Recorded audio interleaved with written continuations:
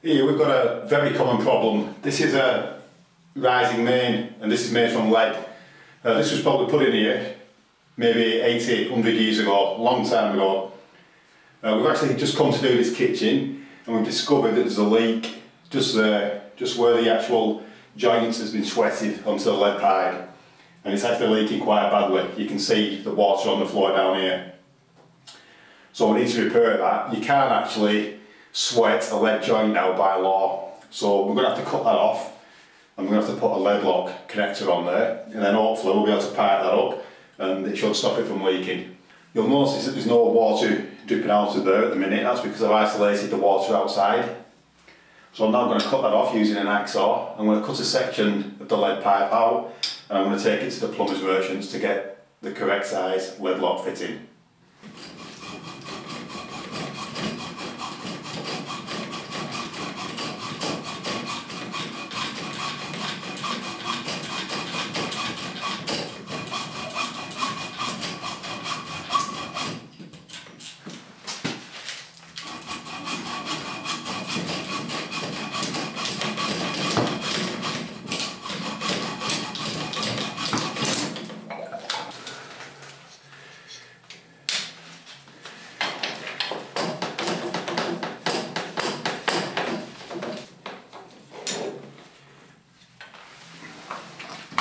So I'm now going to take that to the plumber's merchants and I'm going to get the correct size Lead-Loc fitting to fit on the lead pipe.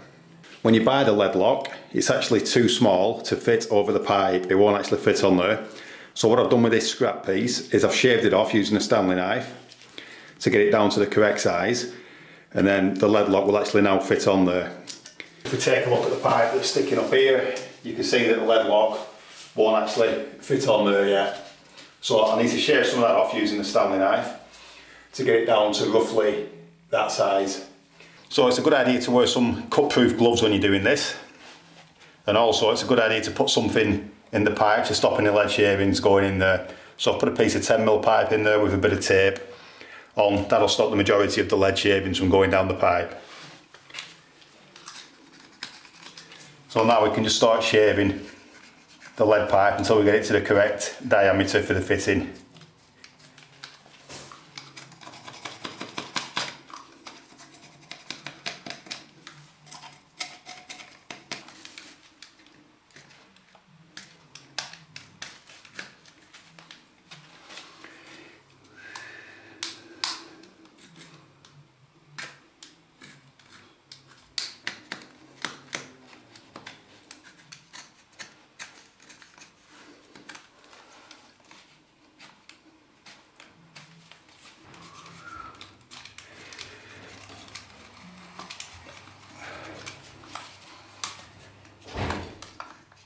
So I've now split the fitting and that's the thrust nut and we can see that that now fits on there well and it goes down far enough. And also if we take the body of the fitting itself we can just check that that fits on the top of there. So once you've tested the components to make sure they fit you can then put the fitting back together. So if we get the thrust nut that washer goes in that way and that's the grip washer.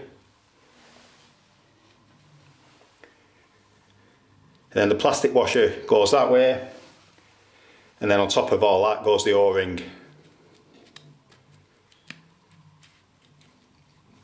So once we put that back together we can then screw the body of the Lead-Loc into it. So now all we need to do is push that on there till it's firmly on which is there. We then just need to hold the body of the Lead-Loc and then we can tighten the compression nut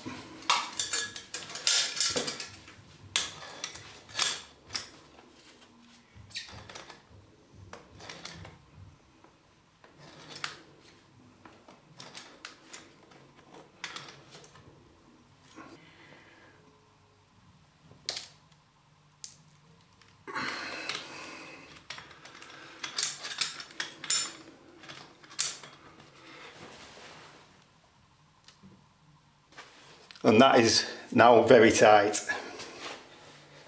So that's the lead lock part of the fitting done.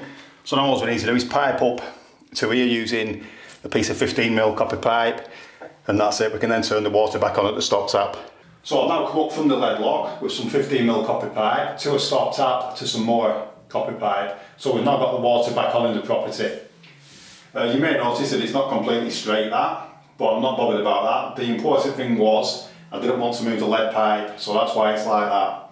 This is only a temporary measure. I have applied to United Utilities to have uh, an MDPE pipe put in. As soon as I get accepted onto the scheme, all this will be ripped out anyway, and we'll have a new MDPE pipe in the kitchen. So this has only been done temporarily really, just so that we can get water on for uh, mixing cement and, and things like that. So whenever you've been doing something like this, we've been shaving the lead off there and we've been soldering up here, you need to give the pipes a good flush out for at least 10 minutes. So I'm now going to go and give the pipes a good flush before we uh, take any water from there.